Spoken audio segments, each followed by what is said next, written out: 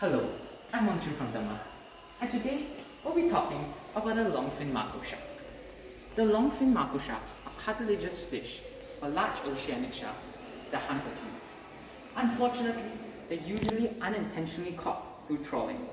When they're entangled in nets, they, they, they suffocate, they struggle for oxygen, and they die a slow and painful death.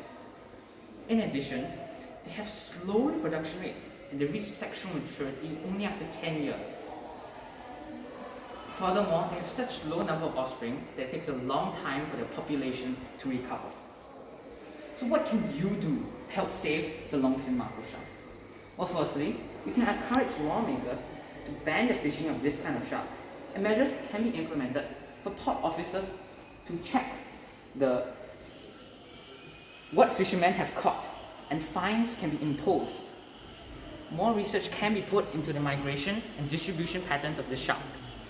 There can be more of them should be tagged so as to track their habits.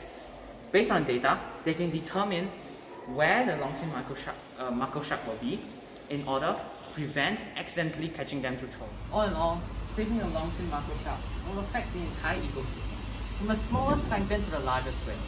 The humans are caught in the web too. We need your help to save the longfin mako. Thank you.